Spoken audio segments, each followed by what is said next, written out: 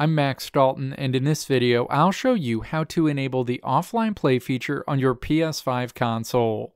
Step 1. Navigate to your PlayStation 5 home screen and then click Settings. Step 2. Click Users and Accounts in the Settings menu. The associated screen opens. Step 3. Click Other in the list of options on the left side of the screen. Step 4. Select Console Sharing and Offline Play in the menu on the right side of the screen.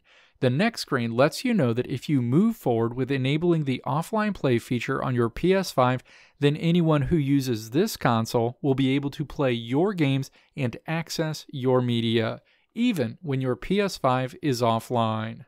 Step 5. Click Enable. The next screen lets you know that you've successfully enabled console sharing and offline play on your PlayStation 5. Let me know if this video helped you out in the comments below. If you liked what you saw here, click the video links on the right side of the screen to check out another video. Or click the logo on the left side of the screen to check out my tutorial website at www.maxdalton.how.